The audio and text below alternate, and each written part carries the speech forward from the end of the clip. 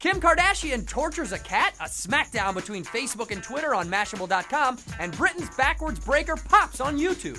We have what's hot on the web right here on The Surf Report. Kim Kardashian turned on search engines thanks to the controversy surrounding this twit pic. She held a cat by its scruff during a recent photo shoot, sparking outrage from her Twitter fans and surprise, PETA. Feeling the heat, Kim cooled off her critics on her blog, saying the kitty's owner and vet were both on set and showed her how to pick him up. The cat was not harmed in any way. What do you think is the most popular social media site? Well, Mashable.com posted a study that looked at traffic between February 2009 and 2010, and here's what they found.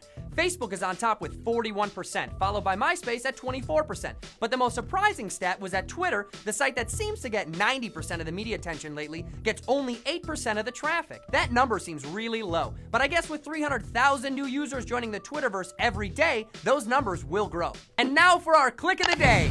From the show that brought you Susan Boyle, Britain's Got Talent, comes Tobias Mead, the breakdancing internet sensation. The 22 year old has shot to 600,000 streams in just three days.